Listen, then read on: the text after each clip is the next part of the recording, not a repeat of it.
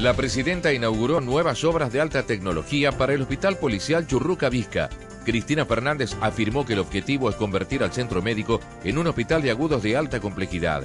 En abril, el nivel de actividad económica creció el 7% en comparación con el mismo mes de 2012. Encontraron más ADN de Jorge Mangeri debajo de otras dos uñas de una de las manos de Ángeles Rawson. El ministro de Agricultura, Norberto Yaguar, afirmó que está garantizado el pan para la mesa de todos los argentinos. La Corte Suprema no hablará sobre la presunta investigación de la AFIP a Ricardo Lorenzetti, presidente del máximo tribunal. Con un acto en el mercado central que contó con la presencia de Guillermo Moreno, se lanzó oficialmente la tarjeta Super la justicia investigará a Carlos Corach por presunto delito de encubrimiento del atentado y pago de sobornos. Del Potro venció al canadiense Levine en dos sets y avanzó a la tercera ronda del tradicional torneo británico.